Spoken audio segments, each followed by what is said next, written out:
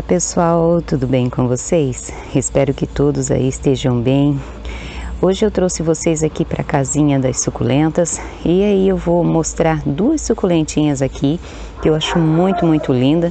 Eu não cultivo muitas, eu gosto muito das equevérias, das suculentinhas normais assim, né? Não que elas não sejam normais, né? Mas bem tem sua beleza. Que são as rosas do deserto. Eu vou replantar a adenium, aí eu vou retirar essa capitela daqui.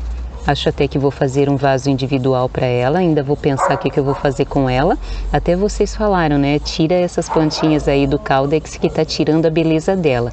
Então, eu vou seguir o conselho de vocês e vou tirar as plantinhas que estão na base, porque principalmente esse arábico aqui é muito lindo, né? Então vou fazer o replante, vou tirar porque o vaso aqui ele está quebrado, ele está bem ressecado já por causa do sol. Vou tirar também a prolífica. Ah, eu esqueci o nome daquela mamilária ali. É uma mamilariazinha bem comum que dá florzinhas marrons, também vou retirar. Vou é, tirar também o substrato antigo. Acho que esse vaso aqui vai dar para eu reaproveitar, menos esse daqui. Esse daqui, olha vasinho mais jaguara, gente. Tá se quebrando todo. Deixa eu mostrar aqui para vocês como ele tá. Ó, olha aqui, ó. Tá se deteriorando. E esse daqui já não, ó. Esse daqui tá bem legal. Ó, tem uns vasos assim que... Esse daqui até que o cactinho não tá cobrindo tanto o caldex, ó. Tá bem legal, né? Parece o corpo de uma mulher. Ah, então, eu vou levar vocês lá para o cantinho, vamos replantar essas plantinhas. Esse daqui eu vou retirar para colocar um substrato novo, porque já faz bastante tempo que tá esse substrato. E esse daqui tá assim pela hora da morte, né? Porque o vaso está bem velho, já está quebrando e quando eu faço a rega, às vezes a água vaza e não entra no substrato. Ai, essa capitela tá tão linda, né, gente? Olha só. Ai, tá muito fofa e ela se deu tão bem aqui que eu tô com uma dó, gente, de tirar ela daqui. Mas eu vou fazer a poda e vou fazer um novo vaso. Porque eu, se não me engano, eu só tenho um vaso dela. E ela, mas ela tá numa coloração tão linda, tão estressadona, né? Vou tentar até achar um lugar para colocar ela aqui. Gente, olha só essa plantinha como tá estressada, como tá linda. Ai, tá muito fofa, né? A capitela tá estressada. Essa daqui que é a Monte ou a Vampire tá bem estressada. Olha só que bonita que tá essa menina linda aqui também, tá bem estressada, ó. Vermelhona. Olha só que linda. E agora ela tá dando haste floral. Olha que legal muito linda. Ai, eu quero muito fazer muda dela, mas o caule dela acabou apodrecendo. O caule lenhoso realmente, né? Não dá mudas. É, a plantinha tem que ser muito, muito assim prolífica, muito generosa para dar mudas em caule assim que seja muito antigo, muito grosso, né? Tipo esse daqui, ó. Aqui até deu um olho negro, olha só. Para quem não conhece o olho negro, ó, fica às vezes a folha em forma de concha assim, ó, e acumula água e aí já dá o olho negro. Aqui nesse caso eu não vou arrancar a folha porque a folha está toda boa ainda, ainda tem muito nutriente para a planta. Então eu posso cortar essa parte aqui, passo uma água oxigenada ou fungicida. Eu estou usando o da Forte agora, que também é muito bom. Então é isso que eu vou fazer mas eu não vou cortar a folha inteira não, porque a folha ainda está dando nutriente, ela está muito perto da roseta, ó. Vou plantar nesse pote de açaí aqui, ó. Não sei se vai durar muito, mas é esse o vaso que eu tenho disponível hoje. Eu fiz a drenagem de isopor, né? Tem gente que gosta de colocar brita, algo mais pesado, mas eu gosto dos meus vasos mais leve. Então, é, cada um faz do jeito que acha melhor aí no seu cultivo, né? E aqui tá essa plantinha maravilhosa que eu vou tentar tirar aqui sem machucar muito. Eita, gente, acho que eu vou ter que... Vamos tirar a Magdalgali aqui primeiro. Ai, a Magdalgali tá tão linda. Nossa, o vaso aqui, ó, tá totalmente podre, ó. Tem vaso que não vale a água da louça. Agora tem uns que a gente tem por anos, né? Como esse outro aqui que eu vou reaproveitar. Olha só que linda, gente. Deixa eu ver se tem cochonilha. Ah, só tem folha seca. E tá tão bonito, olha só. Dá para plantar assim mesmo. Aí ela tá tão linda. Vamos deixar aqui do lado que eu vou só mostrar para vocês a retirada dela, vou replantar e depois eu mostro tudo prontinho para vocês. Para ser mais rápido para mim também. Ai, essa planta é magnífica, linda, linda, linda, gente do céu. Ai, caramba. ai, ai. Ai, tá muito fofa. Não, ela é de uma simetria ela é perfeita. Nossa, olha só. Que linda. Vamos agilizar aqui o replante, né? Dá para arrancar aqui, não tem problema. Nossa, ela tava com caule.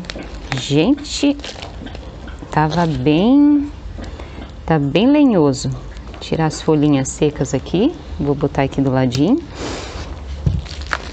Agora vamos dar uma batidinha aqui.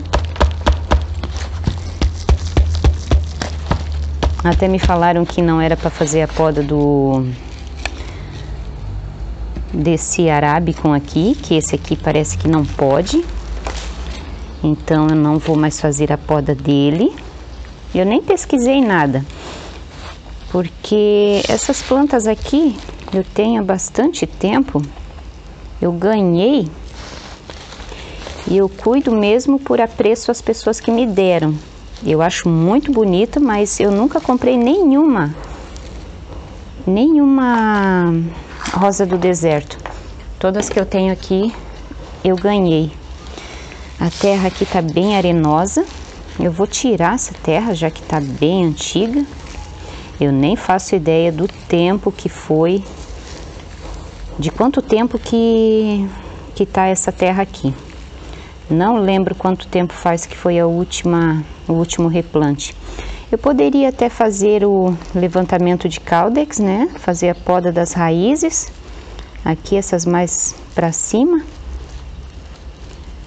Mas eu acho que eu vou deixar assim mesmo. Eu esqueci do meu palitinho de churrasco para Vamos ver se dá para fazer aqui com isso aqui. Para tirar um pouco essa terra. Ah, tá dando certo.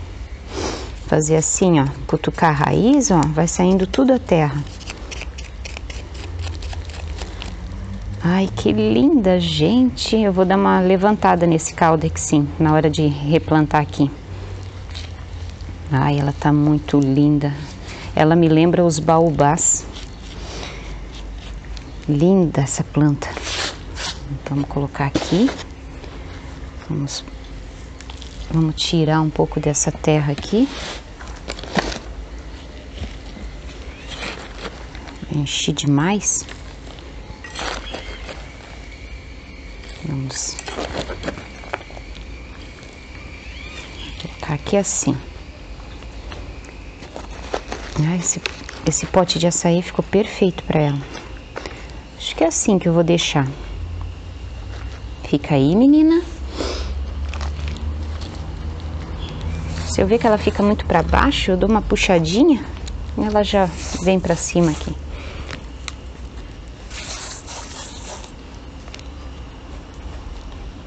Acho que ficou bom. Vamos sentar a terra. Olha só. Aqui tem um brotinho, eu vou tirar. Acho que não é brotinho, é raiz.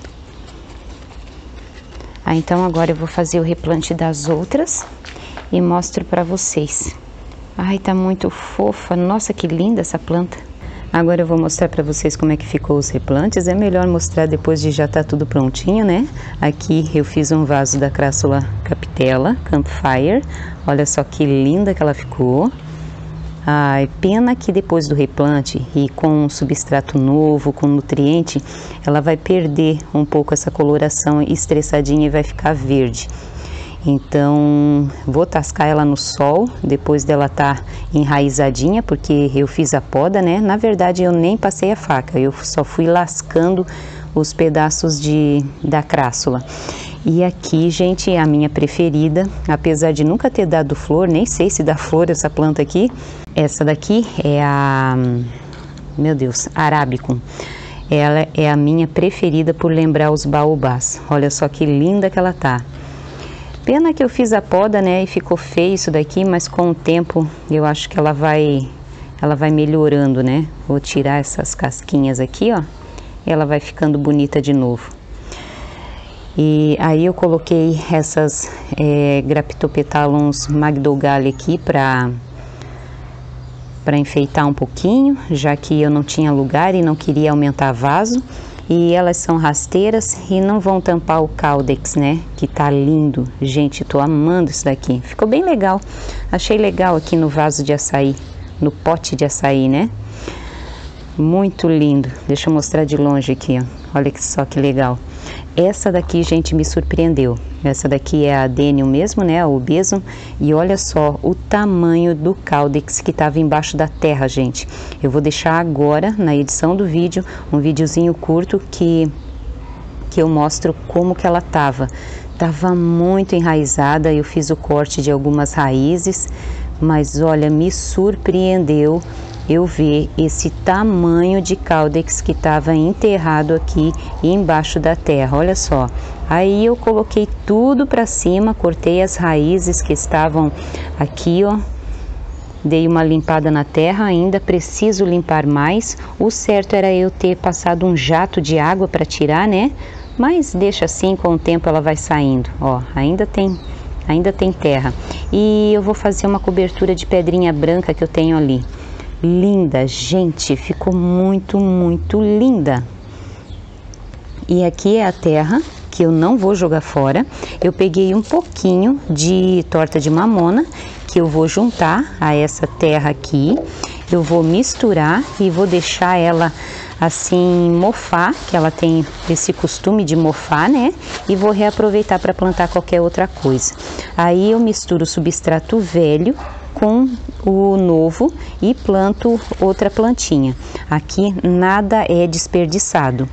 E aqui sobrou as mamilárias que agora eu não estou lembrada, não sei se é mamilária prolífica, eu não estou lembrada. Eu vou deixar na edição do vídeo o nome dessa mamilária aqui, que é bastante comum, dá uma flor linda, linda, linda. E com o sol chegou a queimar ali, ó, até as as frutinhas dela chegou a queimar. É uma planta que se multiplica muito fácil de semente. Ela depois da floração ela dá muita semente e e é uma plantinha bem, bem, bem fácil de, de cultivar. Agora eu quero levar vocês lá para o jardim para a gente cortar aquela folha que estava com olho negro. Essa plantinha aqui é uma provável marrogane com Japão, se eu não me engano. Eu tenho há um tempão e não consegui fazer muda dela ainda. Eu tirei umas folhinhas para fazer muda da haste floral no ano passado, mas eu perdi, não sei onde que anda. Então eu vou fazer o corte aqui, vou tentar cortar aqui direitinho. Eu vou só cortar a parte danificada. E os fungos, gente, a gente tem que tirar ou passar um fungicida, porque ele solta esporos e espalha para toda a coleção. E aqui no machucado, eu vou colocar esse fungicida aqui, ó. Ai, peraí, tá fechado. Stream aqui. Vou dar uma molhadinha aqui. E eu não vou tirar a planta daqui, até foi demais. Era para ter sido spray e não stream. Aí então, eu vou deixar a planta aqui, porque hoje tá nublado, ó. Talvez se der sol, não seria indicado eu, eu deixar aqui, né? Mas como eu tô em casa hoje, então se caso vier dar um sol, eu venho tirar ela daqui. Mas quando passa-se é, fungicida, melhor é você tirar a planta do, do lugar. Mas já estamos ah, ontem já nublou o, o, clima, deu um solzinho, mas depois já nublou, então acho que hoje eu vou deixar aqui. E quando aparece o focinho do like é para fazer o quê? Hein? É para se inscrever, deixar seu like, né? Não é? Hein? Hein, meu gostoso? Ai, meu Deus, vou mostrar essa parede toda suja que eu tô vendo agora, que tá toda encardida.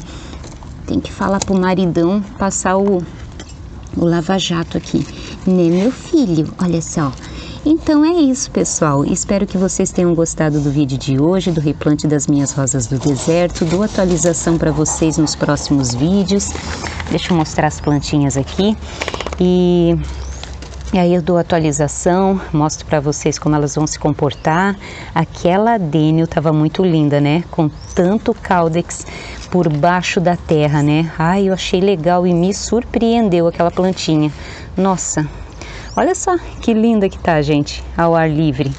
A orelhinha de Shrek, a comum. Fofa, né? Ai, que muito linda, linda, linda. Ah, deixa eu mostrar essa plantinha aqui, a Margarete Rappin, o estado que ela tá Agora, olha só. Gente, não dá nem para mexer na latinha, a latinha tá se desmanchando. Vou ter que tirar essa plantinha daqui, fazer uma poda e replantar. Então, era isso. Obrigada pela companhia. Fiquem todos com Deus e até o próximo vídeo, se assim Deus permitir. Tchau, tchau!